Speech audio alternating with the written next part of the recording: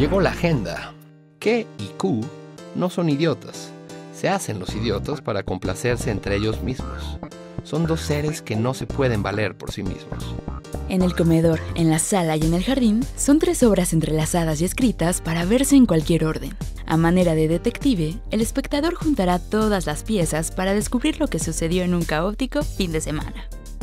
Las obras de dos grandes maestros de la historia del arte llegan a México.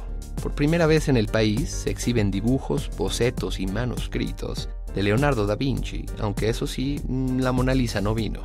A la par, se muestran 30 obras de Miguel Ángel, creador de El David, una de las figuras más importantes del arte renacentista.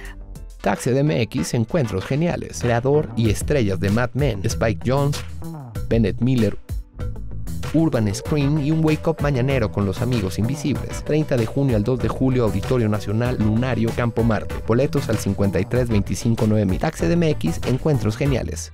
Bajo la dirección de la guapísima Alondra de la Parra, una orquesta de 80 elementos musicalizará en vivo la película West Side Story, inspirada en Romeo y Julieta. El sello discográfico chileno que ama su cabeza presenta la tercera edición en México del Festival Neutral. No te quedes sin escuchar a Jepe, Haces Falsos y Pedro Piedra.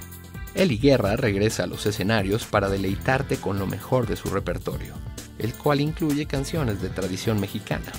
Proyecciones de películas en las lanchas de Chapultepec.